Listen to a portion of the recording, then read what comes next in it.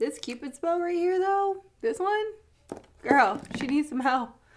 Help me. Help me.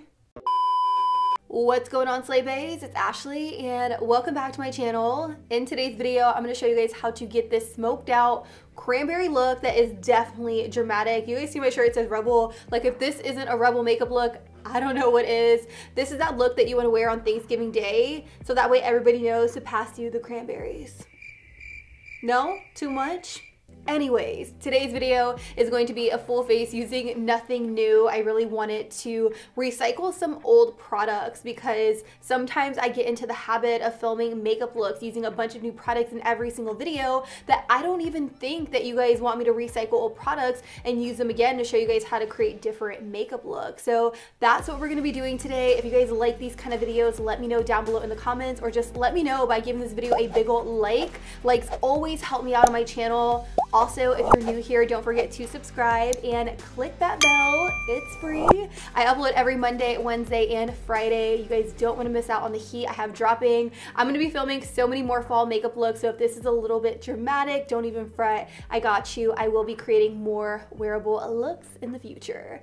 With that being said, I'm going to zoom you in just a teeny bit not too much and we're gonna get started on the look. So let's state the obvious. The only thing I have done right now are my brows and my eyelid primer. I do have a little bit of sunscreen on. I am using this one right here by Elta MD. This is the UV Elements Broad Spectrum SPF 44. I love this sunscreen. I've already gone through an entire tube and this is my new one. This is my backup. I just ordered it on Amazon.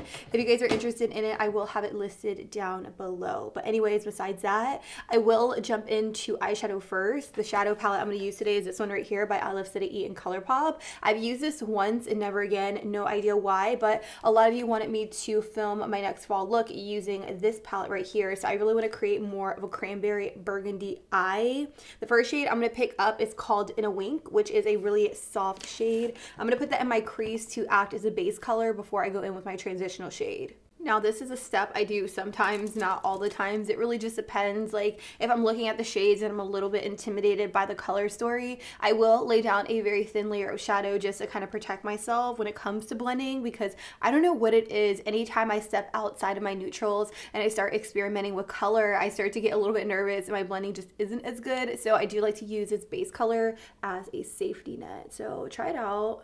You guys may really like it, you may hate it, but this is just my style of doing makeup. Maybe you'll really appreciate it, maybe you won't.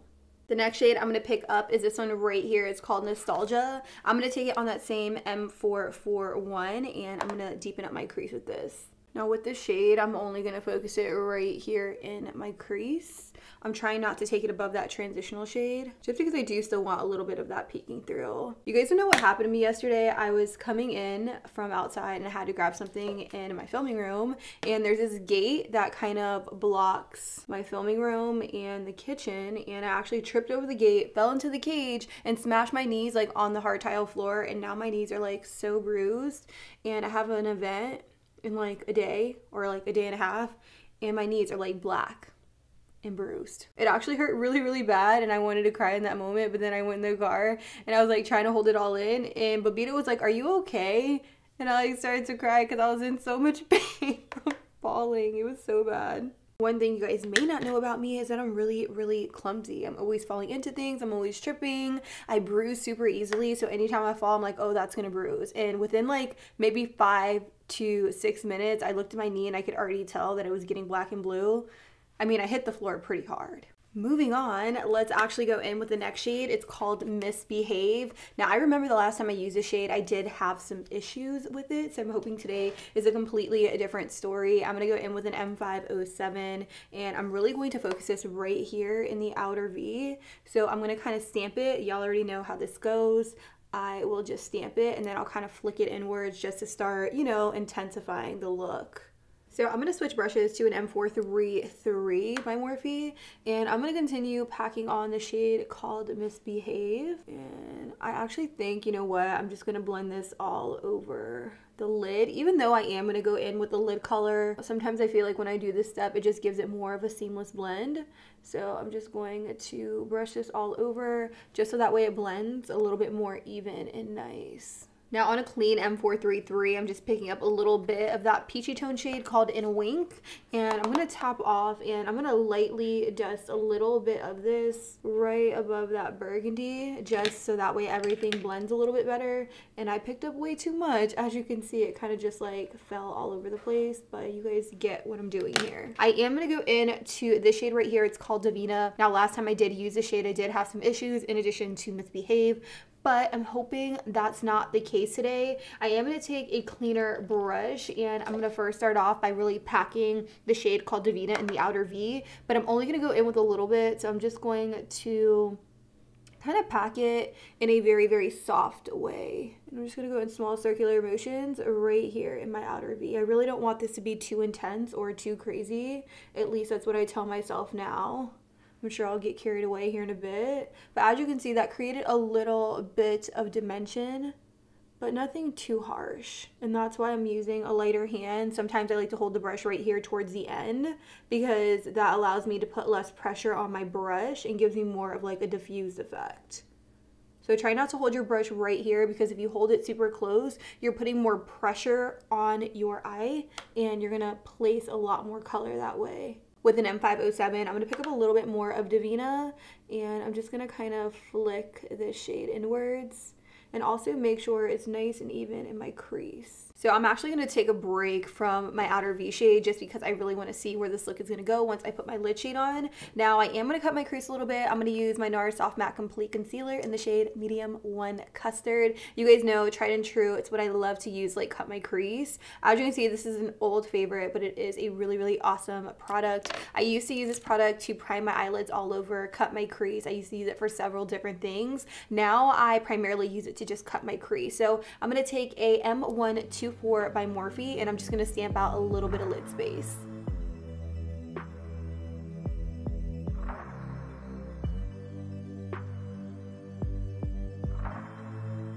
Now that I have some lid space carved out, I'm going to go in with this shade right here. so freaking pretty. I'm gonna put this all over my lid. I'm just gonna use the same brush, like a clean brush. This is a M124 to put it all over my eyelid.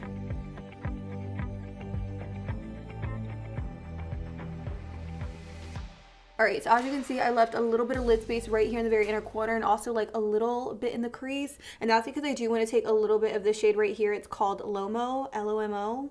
No idea how to say that, but I'm going to take it on an ABH A28, which is more of an eyeliner brush. And I'm going to pop it right here to give it a different effect because otherwise it's just like cranberry all over the lid, you know? Since I want to place this more precisely, I am going to spritz the brush with a little bit of Fix Plus. It's to give it a little bit more slip and I'm going to be able to put it exactly where I want it.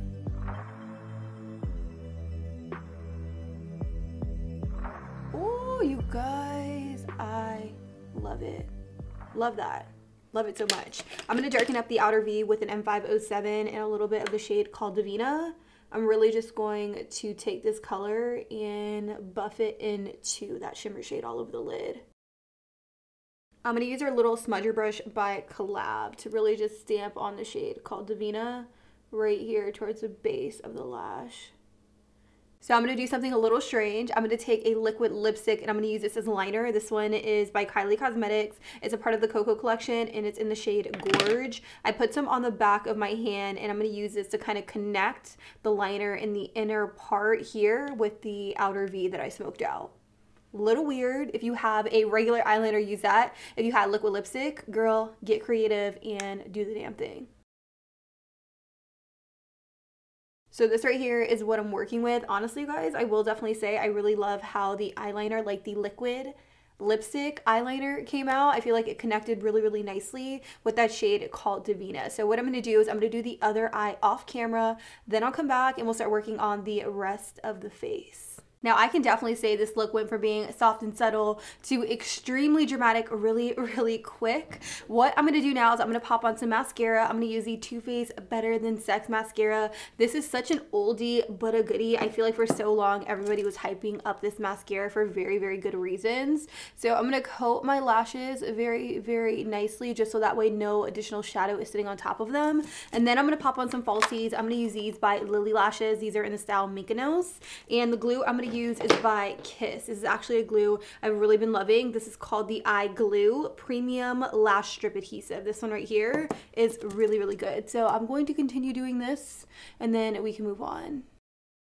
Not even gonna lie, I'm really feeling this look now that my lashes are on. Normally I'll say if you're not really into fall season, skip them completely, but since my eyeshadow look is so dramatic, I definitely don't feel like it's something you can skip. So if you do opt to do it exactly how I did in today's video, I highly encourage you guys to try and test out some false lashes with the look because I feel like it really brings everything together. With that being said, I'm gonna move on. I'm actually gonna prime the skin. I'm gonna throw it back to my Smashbox Photo Finish Super Light primer. I do really love this primer. It definitely is a throwback product for me. I'm not gonna lie, um, with my eyebrows like this, like very, very natural, I feel crazy because I feel like they're kind of all over the place, but that's because I really didn't clean them up up top. I only clean them up underneath. Hopefully when I have foundation and stuff on, it kind of goes a little bit better with the overall look.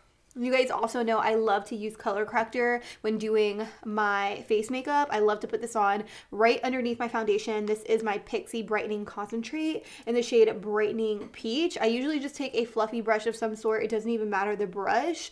And then I'll start putting it all alongside my mouth to brighten. We're also launching new color correctors with collab. I know this video is full face of nothing new. I mean, I'm using the Pixi one, so nothing new, but we are launching some really, really, really awesome color correctors with collab this fall so check your local Sally Beauty stores because they are sick. I don't know what it is but anytime I go in with that color corrector right around my mouth it just like instantly brightens up my face. Like I love the way it looks. Like I wish my face looked like this all the time without the color corrector, but unfortunately that's not the case. I also like to take a little bit of that underneath my eye to brighten we're nice, we're color corrected. Let's actually move on to foundation. You guys already know, you probably saw this one coming. I will be using my Maybelline Matte and Poreless Foundation in the shade 220. Tried and true, holy grail. This is what I always go back to. It's like six bucks at Walmart, very, very inexpensive. And the coverage on this foundation is out of this world. I use this foundation for so long and it still is one of my personal favorites. So I really wanted to use it and feature it in today's video because I feel like I haven't used it in a while, which blows my mind mine. There's actually so many new products on the market, so it kind of got pushed in the back of my makeup drawer, but I'm glad I'm revisiting it because it is a really, really awesome formula. It's one of those formulas that's not too mattifying. It claims it's a matte and poreless, but I don't find it to be super, super matte. It's more like a satin than anything. I think you guys will really, really, really love this foundation. So check it out if you guys haven't already. I'm gonna use my Pro number 47 by Sephora. And I'm just gonna kind of paint it on. And then with my damp sponge by e.l.f., I'm going to buff and blend it out. I also want you guys to know that the foundation is going on a little bit sheer, but this formula is very much buildable. So it's very, very medium coverage, but you can build it all the way up to full coverage, which is something I like because it doesn't ever look like overly cakey or overly dry or anything like that.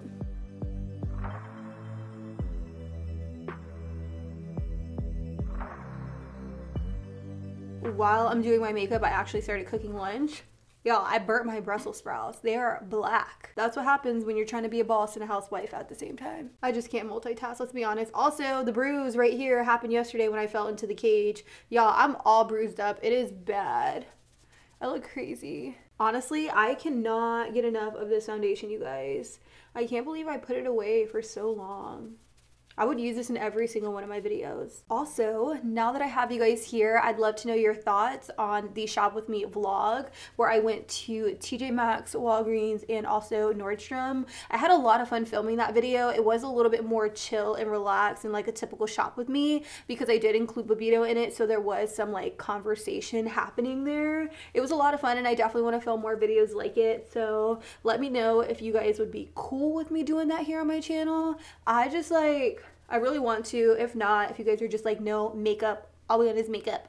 Um, then we're probably just going to put all of those videos on our vlog channel soon. But it was a lot of fun. I really enjoyed myself in that video. Let's actually move on to concealer. I will be using this concealer right here. This is by Flower Beauty. This is the Light Illusion Full Coverage Concealer in the shade Light. Oh my god, I was using this in almost every single one of my videos last year. I did put it away because I have been trying out a bunch of new things, but I always go back to it because it is such a great, great great concealer. If you guys haven't tried like the Light Illusion line in general from Flower Beauty, I definitely recommend. I love the Light Illusion powder. It's definitely a spot on dupe for the Charlotte Tilbury Airbrush Flawless Finish Powder in my personal opinion. Also, their foundation is really, really good if you want something a little bit more natural. It's definitely not like full on coverage, but it looks beautiful on the skin. But anyways, I'm just kind of taking my sponge and as you can see, that concealer just like instantly brightened underneath the eyes, which is something I am all about.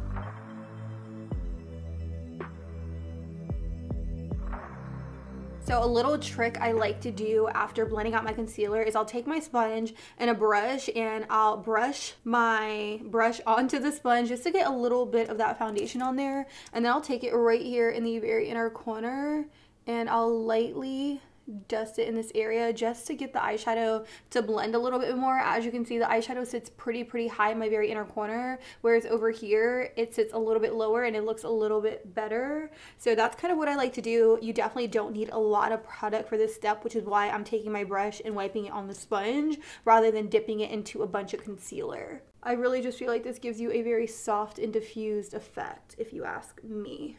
Then you can go in with your sponge and blend everything together. Look at me hitting you guys with all the tips. All the tips.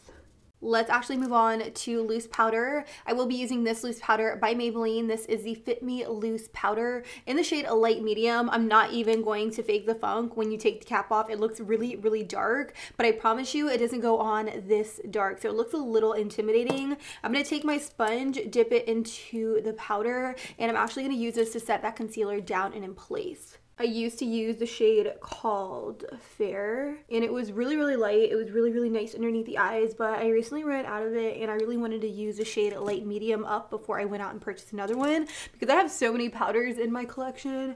You guys have no idea I will also say there's no better feeling than actually using up a product. I feel like since I started my YouTube channel, I've accumulated so much makeup that it's very rare that I'll run through a product completely. But when I do, you know I love it. Like I have so many powders. So when I run through one, I know for a fact that I love it so much because I've used it and used it and used it to the point where it's all gone. So that's definitely a really, really awesome feeling. I'm also going to take just a little bit of this powder on my forehead and T-zone just to kind of mattify it because this is an area I typically get oily throughout the day. But all in all, I think my skin looks really good. It looks hella flawless, which blows my mind because you guys know I've been struggling with my skin for so long and I feel like I finally got it to a point where I'm happy. For actual pressed powder, I'm going to use this by MAC. This is the Studio Fix powder in the shade NC30. This is definitely a throwback product. It's a product that I've been using since I started my channel. I always go back to this because it literally is a foolproof powder that gives me a really, really awesome finish. It also gives you additional coverage. You can wear this on its own or you can wear it over top of your foundation. It's really all dependent on what you're into. I'm also gonna run some of this powder on my neck to get a better blend.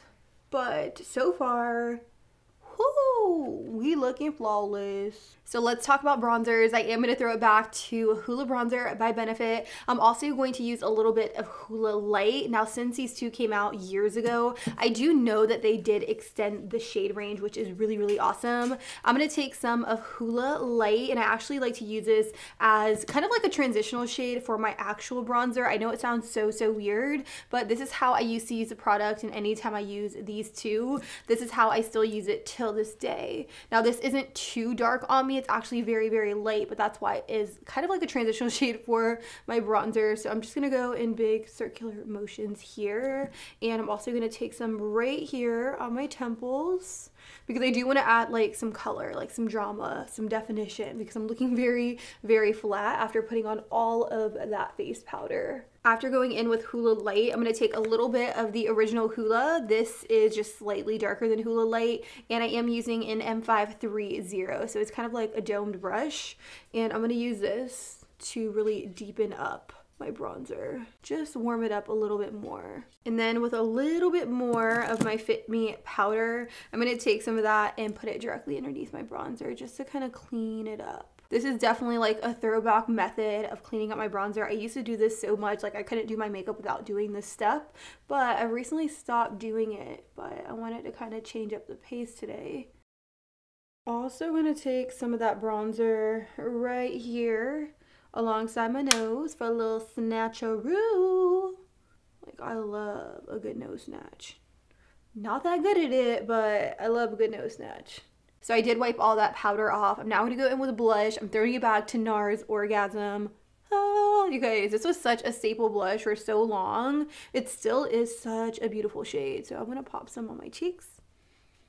And again, this color is just going to be beautiful with the look. And for highlight today, I did decide that I wanted to use a single eyeshadow by Maybelline. This is called the Glow Down. It is one of their expert wear single shadows that I really love to use as a highlight. It's like two, three dollars. Like if you're balling on a budget, girl, go get this because it is blinding and so beautiful. Also just gonna take some right here on the apples of my cheeks. And of course, I have to take a little bit and pop it on my nose. So I'm definitely loving the way the look is coming out. I definitely want to smoke out my very lower lash line. I'm going to take this shade right here called Misbehave on our flat definer brush by Collab. I really love our flat definer brush because it's super soft and it's not, it's not as sharp as your typical flat definer brush would be. So it doesn't irritate underneath the eyes whatsoever. It really just glides on without tugging or pulling. Then I'm going to pick up a little bit of this orange shade on an M507 and I'm going to use that to really smoke out my lash line. I just want a little bit of orange to kind of peek through, but nothing crazy. And I'm going to take a little bit of that orange and then kind of just blend it above of this burgundy, just so that way it looks like it goes with the look. For my waterline, I'm going to use this by ColourPop. This is one of their cream crayon eyeliners. This one is in the shade Puppy. It's like an orange. I think it's going to set this look off. I'm just going to kind of wiggle this in here. If you guys haven't tried these liners by ColourPop, they are so freaking good. I pretty much have them in every single shade because that's how obsessed I am. Like, a little too obsessed. All right, we looking super cute with the orange in the waterline. I'm gonna take a little bit of mascara and just put it on my lower lashes and then we'll finish off with the lips. I'm just putting a little bit of brow gel into my brows because they were looking a little ashy. I'm just using this by Benefit. Nothing new here, nothing new. So we're gonna finish things off with the lips. I'm gonna use the MAC lip liner in the shade Plum to align my lips completely.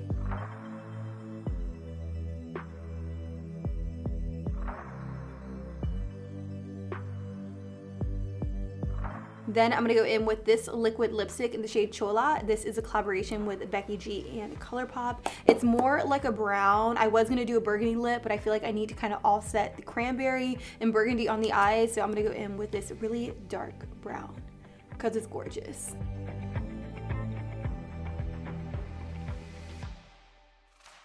And after popping on my lip, this right here is the final and completed look using a full face of nothing new. I really want to recycle some old products, products that I may have used maybe once or twice, like the Through My Eyes palette. I used this once on my channel and never again. No idea why, because it is a really, really great palette. I did come up with this very cranberry smoked out eye look. I know it is a little bit dramatic, but honestly, fall is when you want to bring the drama. I'm definitely going to film another cranberry look with some something a little bit more toned down, something a little bit more wearable. Maybe I'll pair it with a nude lip. We'll see how things go. But let me know what other palettes you guys want me to use to create some fall looks. I really want to give you guys so much inspo this fall season, so I'd appreciate your recommendations. I love you. Thank you guys so much for watching. Subscribe if you haven't already. Click that bell and give the video a big old like. I love you, and until next time, I'll be sure to catch you guys all on the next one. Deuces.